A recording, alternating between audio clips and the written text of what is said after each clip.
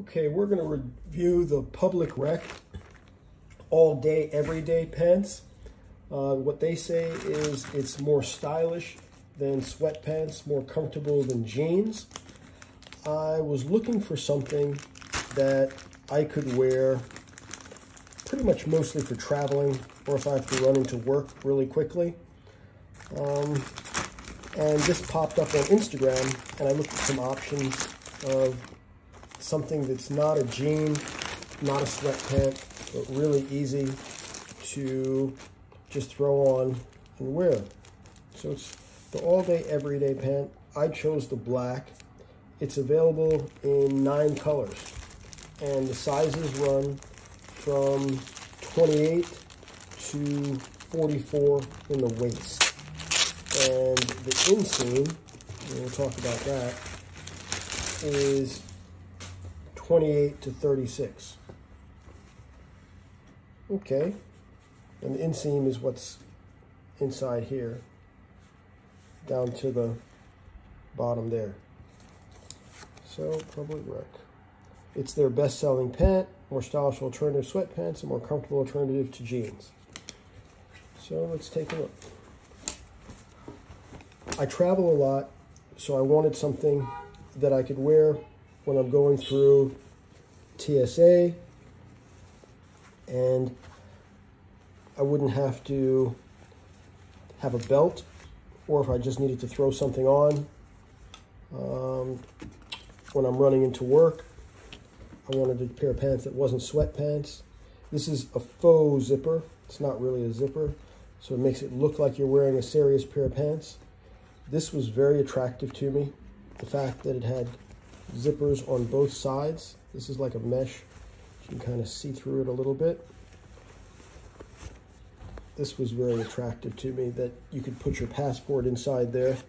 Let's see if my passport fits inside there. Okay, gotta love it. Um, so, passport fits inside.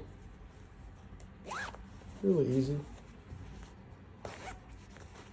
Has some extra room. That's pretty cool.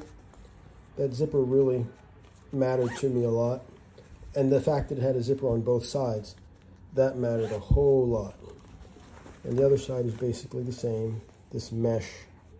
And it's kind of stretchy, which is interesting. I've heard it described in reviews as like a men's um, spandex or whatever the women are wearing now. So it is a stretchy fabric, which is interesting. I don't know, not too thick. So I don't know how, they say you can work out in it too. I don't know how it would feel um, if you were really hot day. But the plane is generally air conditioned and the ease of not having to have a belt when you're going through TSA does matter a lot because it's a big pain. Has this drawstring inside and has some elastic, a little bit elastic here too. Let's take a look at the legs. Okay. Might have to iron this out a little bit. So it gives it a little cleaner look.